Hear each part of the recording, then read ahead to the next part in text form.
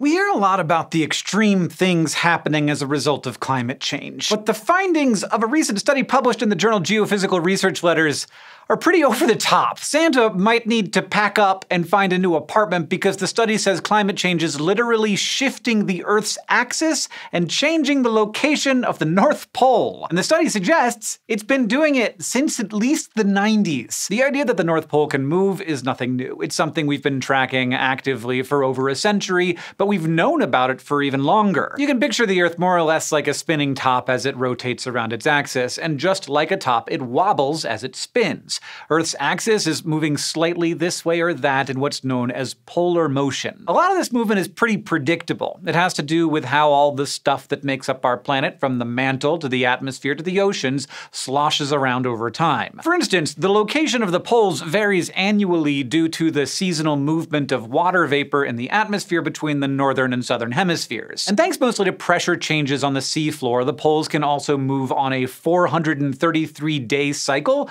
known as the Chandler Wobble, which also coming soon the name of my new TikTok dance. Other changes happen on much longer timescales, influenced by things like glacial isostatic adjustment.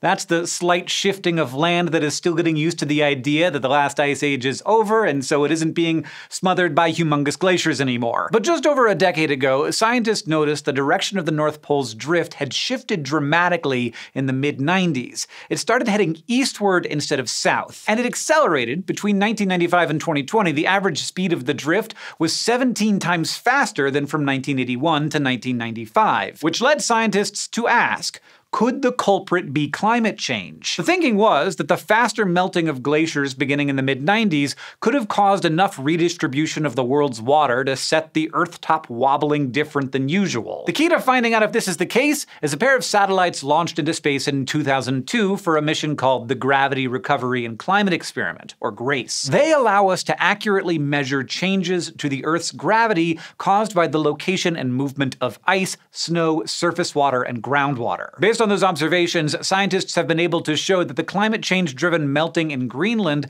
caused the North Pole to drift eastward around the year 2005. Similarly, a shift in global patterns of wet and dry weather appears to have caused westward North Pole drift around 2012. But showing that glacial melt played a similar role in the 90s before the GRACE satellites were launched has been more challenging. In this new study, researchers found a way to tackle that.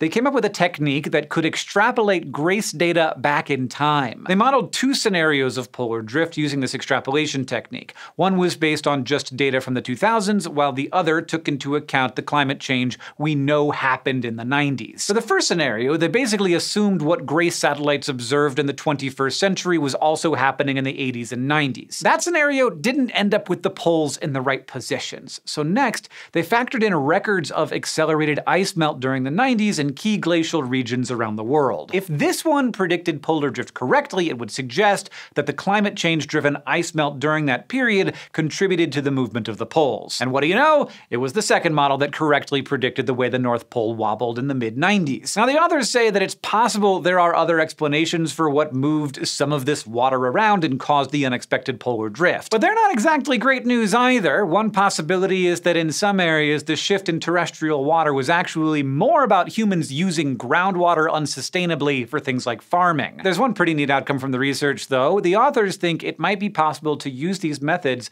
to look even further back in time. Instead of trying to predict the movement of the North Pole based on known measurements of glacier loss, they think we could perhaps use known measurements of the pole's locations to guess at how much of the world's terrestrial water was lost earlier in the 20th century. And that would allow them to reconstruct a history of how the Earth's water moved and melted during a time when we weren't able to precisely measure it. But in the meantime, it turns out we probably have another completely bonkers thing to blame on climate change, knocking the Earth a little bit off its axis. Thanks for watching this episode of SciShow News. If you'd like to help us bring cutting edge discoveries to the internet every week, you can become a member of our channel. Not only do members get access to cool perks, but you're helping us make the world a little bit more curious. Check out the join button below to get started, and if you are already a member, thank you very much for your support.